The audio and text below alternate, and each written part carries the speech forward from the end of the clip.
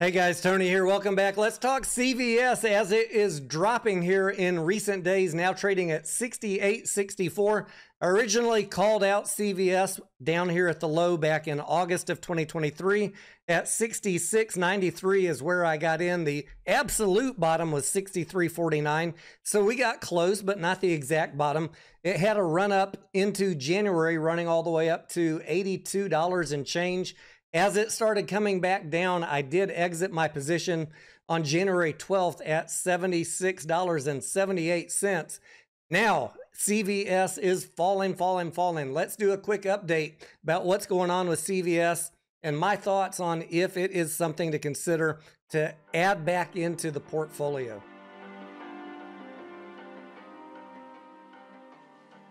When we last talked about CVS on August 18th, 2023, they had just reported earnings and a low on net income of 1.9 billion. The next earnings came in higher at 2.2 billion, sending the stock up towards the end of the year into January. And I had pointed out some problems with CVS, so I went ahead and took an exit on the stock as the price started coming down. And then they reported the next earnings down at 2.04 billion. Now here in April of 2023, CVS is plummeting again, currently trading at $68.64. And maybe the reasonable question to ask is, is it time to think about getting back into CVS? So I'm going to spend just a minute with you guys going over a recent article and sharing some thoughts. Now, while analysts have some lofty price targets for CVS, I'm not so sure myself, but let's see what they are saying the average price target from industry analysts over the next 12 months is $89. The low is 76. And on the high side, one analyst has a price target of $106. I want to review with you this article from Barron's. The headline says Walgreens, CVS, and other pharmacy chains are in a world of hurt.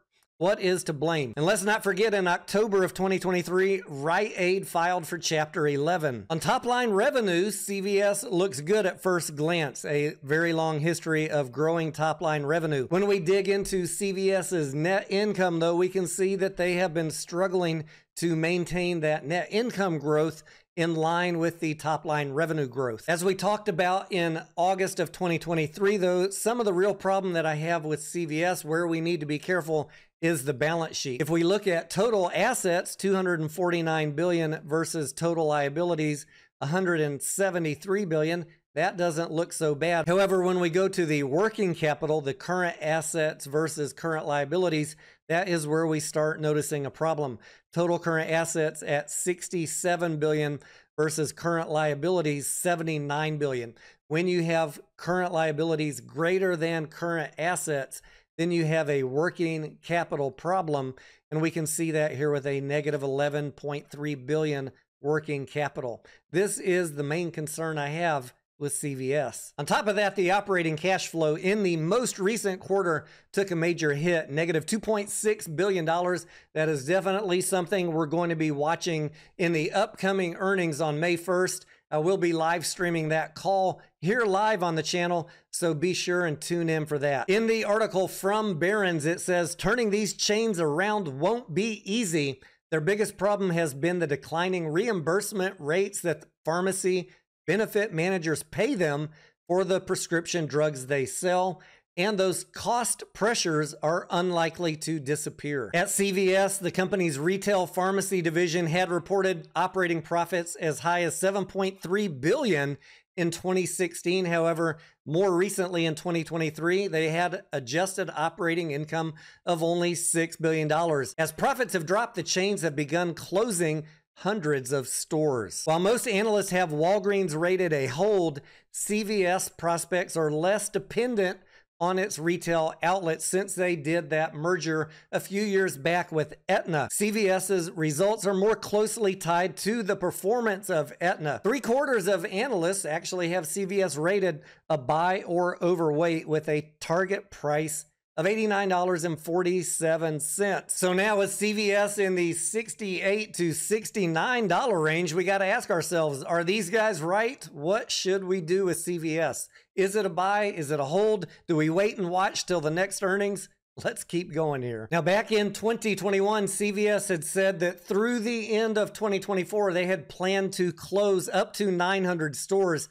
However, Charles Rhyee, who covers Walgreens and CVS for TD Cowen, says that the chain pharmacies should consider closing far more stores than they have proposed while keeping open those that fit in with their efforts to expand into healthcare services. Charles says, I think they're slowly getting there, but maybe from an investor standpoint, you would want something a little faster. And as if they didn't have enough problems, we all see the videos daily, weekly about the shoplifting and theft problem that is going on nationwide in these pharmacies. Although neither CVS or Walgreens breaks out their shoplifting losses in financial reports, Walgreens has cited higher shrink levels as one reason behind a drop in its gross margins in recent quarters. For all the headlines those videos make, though, shoplifting is not really the biggest problem that these pharmacies have. The product on the shelves only accounts for about a quarter of these pharmacies' revenue. The bulk of their revenue comes from the pharmacy counter, which brings us back to the beginning of this article. Pharmacies buy their prescription drugs from a distributor like Cardinal Health and then get reimbursed by pharmacy benefit managers, and there are three of them that control 80% of the market. Oddly enough, Caremark, which is one of the big three, is owned by CVS. But CVS tells us that there are strict firewalls between CVS and Caremark, and CVS has to negotiate with Caremark just like anybody else would. Maybe y'all want to figure that out, guys. Just saying, wink, wink. The question is, why do these pharmacies keep taking these lower and lower reimbursement rates? And the answer is, while the contracts are still profitable, the pharmacy benefit managers are going to push this right to the line every time. In their defense, a spokesperson for the Pharmaceutical Care Management Association says that blaming the PBMs misses the fundamental reason for high cost drugs, which is the prices set by the drug companies themselves. The job of the PBM is to keep the cost of prescription drugs as low as possible for employers and their employees. And we do that. To address some of these problems, analyst John Ransom with the firm Raymond James says that chain pharmacies could ease some of their financial pressures by shrinking. We think that drugstore counters need to significantly contract, he wrote in an October note to investors. But thanks to long leases, the number of chain drugstores locations has barely budged. Despite all the changes in consumer shopping habits and in the pharmacy business itself, the number of chain drugstores in 2022 was 20,900, down only slightly from 22,600 in 2010. What would make this work, he says, is if these pharmacies are able to get some sort of pricing power by reducing their number of locations. Scarcity. Now, talking just about CVS, they proposed in December their own solution, announcing a new proposed model for how its pharmacies will get paid by the PBMs.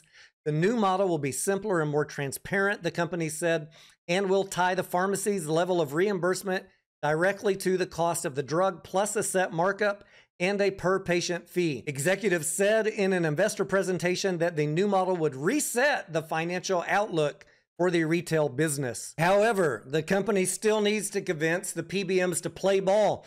In response to a question from Barron's, a CVS spokesperson said that the company plans to implement the new model starting in 2025 and that the feedback has been positive and that there are indications that the PBMs are thinking along the same lines, which could bode well for adoption. Now, I know that was a lot, but I want you guys to know what I'm going to be listening for in the upcoming earnings call and why at this time I am not going to be buying CVS, even though it's trading at $69.55. I want to hear a little bit more about how they are progressing in their plans both with the PBM negotiations and with the store closing reductions. CVS is trading at a forward PE ratio of only 8.37. However, I want to see a little more progress on these initiatives that they are working on. And, you know, if the price drops below 63 bucks or back in that range, I might consider taking a chance, starting to reaccumulate a position on CVS. That's just me. I would certainly prefer to pick it up even cheaper if I could. Let me know though down in the comments what you think about CVS. This really is a problematic one to figure out what is a good entry point considering everything that they have going on. I am Tony Denaro and I will see ya on the next video.